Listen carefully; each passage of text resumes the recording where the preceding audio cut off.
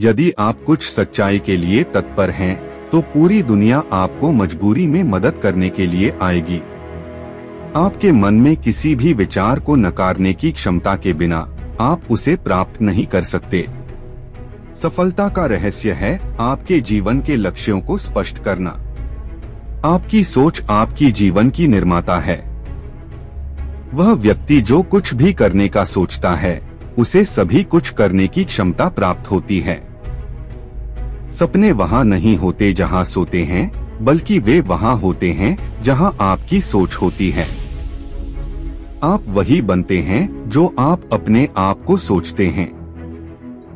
समृद्धि और सफलता की कुंजी आपकी व्यक्तित्व और आत्मविश्वास में निहित है। आपके आगे जो भी समस्याएँ हों, वे सभी आपकी सोच का नतीजा हैं। समर्थ क्रियाएँ हमें नहीं सफलता दिलाती बल्कि समर्थ सोच हमें सफलता दिलाती है।